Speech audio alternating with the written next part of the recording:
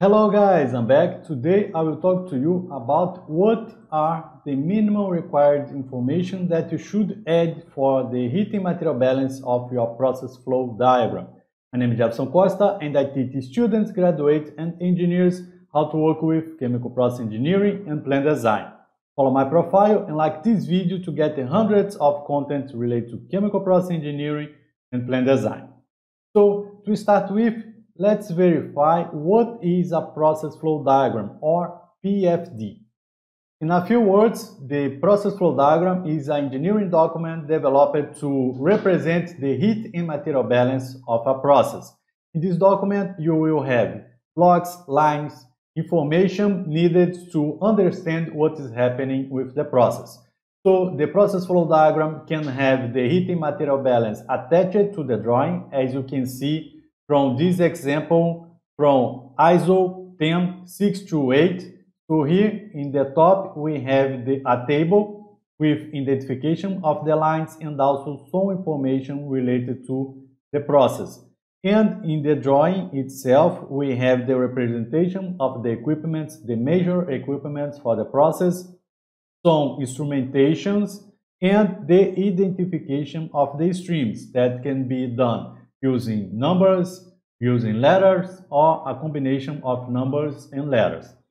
So here, what I would like to tell you is what could, should be the minimum information required to identify your heat and material balance. You can see here from this example that we have the flow rate, operating pressure, operating temperature, and density. But are these ones Eh, enough for the understanding of a process. Here you can see an example of a heat material balance that I developed from some of the projects that I work with. So here, instead of having the heat material balance attached to the PFD drawing, I have a separate document, but the purpose is the same. Show to the person that is reading this document what is happening or what are the process conditions from the, for the process.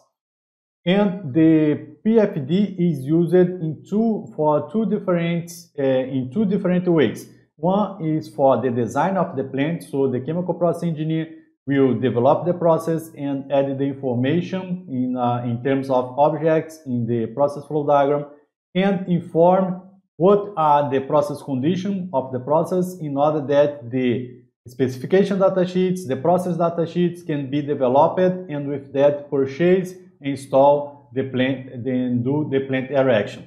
Once the project is finished, the process flow diagram will be used for operations. So the, this document will be the reference for the adjustment of the plant. Although we have the operating manual, the process flow diagram is the source of information for the adjustment of the plant. So based on that, in my point of view, you should add for the, your process flow diagram the information that is important for operations and information, uh, the minimum information that, uh, in a way that a chemical process engineer or a, a person that has the expertise to develop a heat material balance is able to replicate what is shown in the process flow diagram. So based on that, I always start my process flow diagram, the heat material balance of my process flow diagram with the molecular weight of the component. It is not uh, necessarily mandatory, but I, I like to add this information.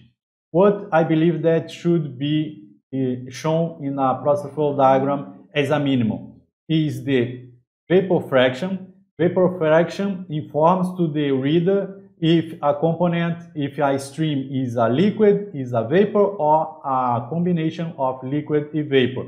And that's important because if the operators goes to a field and open a manual valve or any kind of release uh, uh, done in the in the field and he or she knows what kind of fluid is available there it's better for the operations. And when we are doing the plant design this is an important operations for the kind of criteria that will be used for pipe sizing. If for liquid pipe sizing, we have a criteria. For uh, gas or vapor pipe size, we have another criteria. So in my point of view, the vapor fraction is a minimal requirement to have in your uh, heat material balance of your process flow diagram. Another information that is very important and, uh, and I, al I always add to my process and uh, my process most often is the processing of natural gas or industrial, industrial gases is the molar flow. And I believe that molar flow in normal cubic meters per hour or equivalent information, a volumetric information is important because the measurements of flow in your process will be based on flow, uh, if uh, volumetric flow even if it is gas or if it is liquid. So for gases, most often we use a standard volume flow that can be normal volume flow for 0 Celsius degree or standard uh, standard uh, volumetric flow that can be uh, a basis of 60 Fahrenheit, for instance.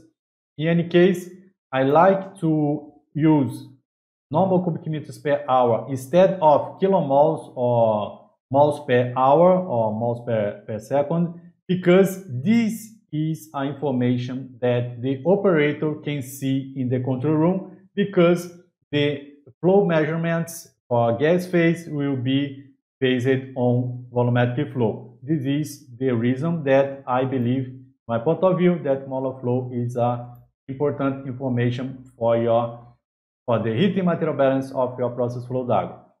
Pressure is another information that be shown in the heating material balance because the operations must know what are the normal conditions for their process. So in, if they go to the field and they do the reading of a manometer there, they will find the manometric, uh, manometric value of pressure and not the absolute pressure.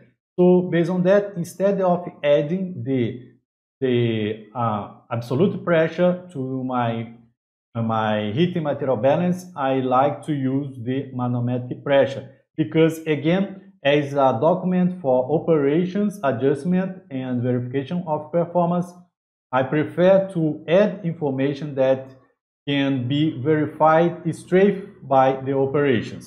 So where if I need to do calculations in chemical process engineering in plant design, most often the calculations will be performed using the uh, absolute pressure, but that kind of information the chemical engineer knows. So what is important is that the reference for the atmospheric pressure or barometric pressure is also shared with the documentation. But for terms in terms of operation, I don't want that the operator do calculations to verify to think that he is reading uh, one thing in the field and they need to do calculation, mind calculations to understand what's happening. Another important and essential information for your heating material balance of your process, process flow diagram is the temperature. All temperatures must be informed to operations in order that they can verify if everything is okay or not. And again, we'll have here a straight relationship between what the operator see in the control room and also see in the field. So the temperature that we use will be according to the temperature that will the, the measure the unit of measurement of your process or of your design. Another information that I believe that is important in the point of view of the development of the heating material balance is the mass flow because the volumetric flow depends on temperature and pressure and sometimes can can uh, can lead to some misunderstanding be, uh, among different players if someone is in Europe the standard measurement can be different from people that are in the US that is different from people that are in Asia or in South America and etc but when we talk about mass flow, it doesn't matter where you are, where you are, the understanding are the same. Another information that I add to my heating material balance, but not necessarily mandatory, is the mass density.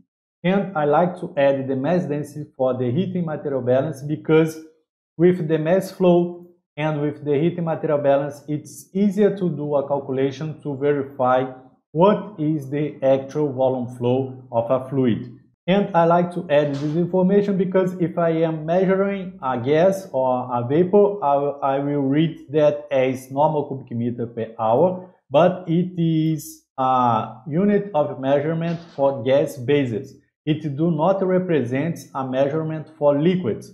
So as I have the mass flow and I have the mass density, I am able to do a quick calculation to verify what is the volumetric flow when I dealing with liquid streams.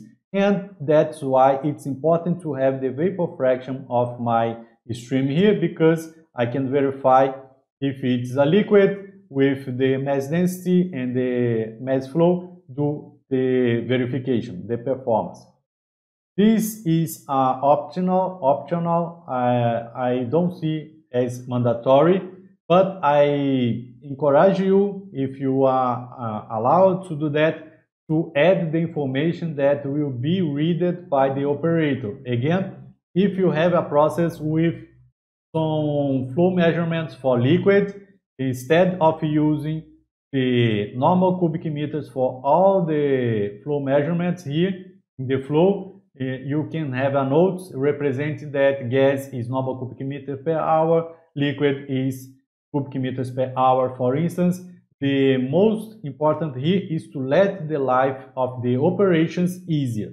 The operator must read the process flow diagram and go to the field and understand that what is in the field is equal or not to the process flow diagram. And finally, we have the composition of your stream. This is important because without the composition of your stream, the chemical process engineer or anyone will be able to replicate what is happening in the process.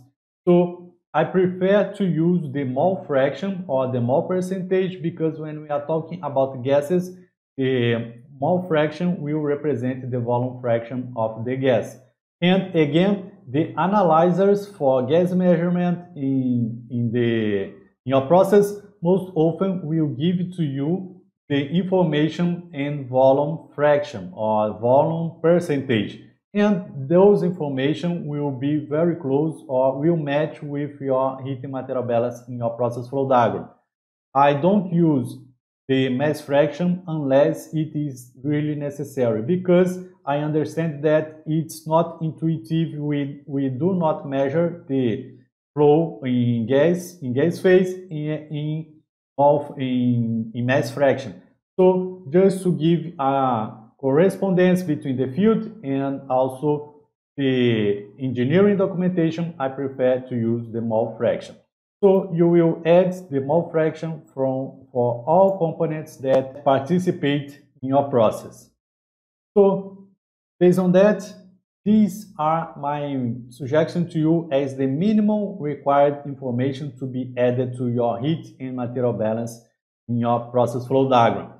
The properties of a fluid I do not add to the heating material balance because I understand that if someone needs to do a calculation, rigorous calculation or do calculations with this minimal information, it's possible to replicate the heating material balance using uh, data banks or uh, process flow diagrams and with that the person responsible for doing calculations will get all the properties needed in, in those sources.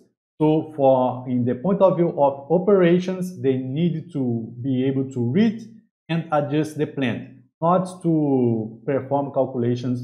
Uh, not, it's not common to be to do the calculations to do the operation of the plant. They need to do adjustment. With this, we covered another topic in chemical process engineering and plant design. And if you want to know how to use process simulation software to perform the heating material balance for your process, take a look in the next video that will appear to you right now. This is it guys, I hope you like it and I'll see you soon in the next video. Bye bye.